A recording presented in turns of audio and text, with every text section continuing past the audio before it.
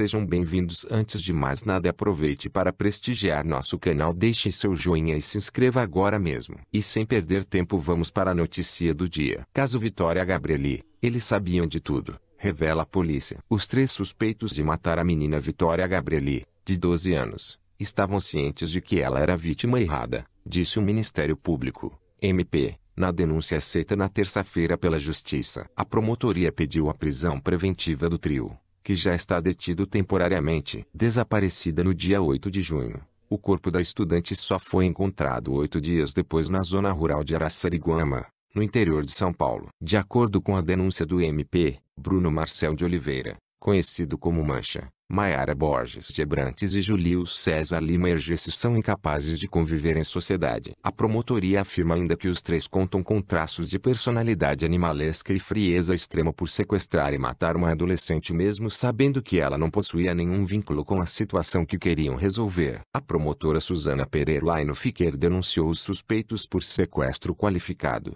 homicídio qualificado por motivo torpe, meio cruel, recurso que impossibilitou a defesa da vítima, e ocultação de cadáver. A Polícia Civil concluiu o inquérito sobre o assassinato no dia 6 de julho. A investigação ouviu quase 100 pessoas. Uma das testemunhas disse que Vitória poderia ter sido morta por engano por causa de uma dívida de 7 mil reais que ele tinha com traficantes de drogas. A testemunha afirmou que devia dinheiro para um bandido e que tem uma irmã muito parecida com a menina. O homem contou que estava recebendo ameaças por causa da dívida que conhecia os três suspeitos. De acordo com a testemunha, o traficante a quem devia costuma punir parentes de quem não paga a dívida que tem com ele. Vitória desapareceu em 8 de julho, quando saiu de casa para andar de patins com uma amiga em um ginásio de esportes próximo à sua casa. Depois de ficar uma semana desaparecida, seu corpo foi encontrado. A menina foi vista com vida pela última vez em imagens de câmeras de segurança em uma rua perto do ginásio para onde iria. A menina foi morta por asfixia provocada por esganadura de forma violenta,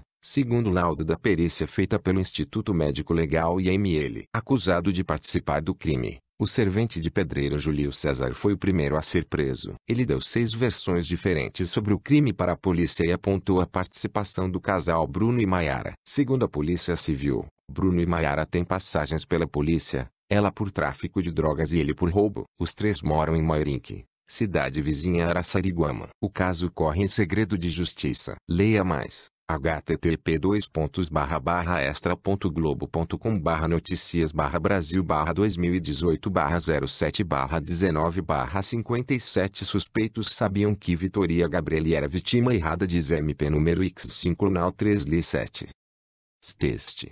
E aí, o que você achou? Deixe seu comentário. Obrigado.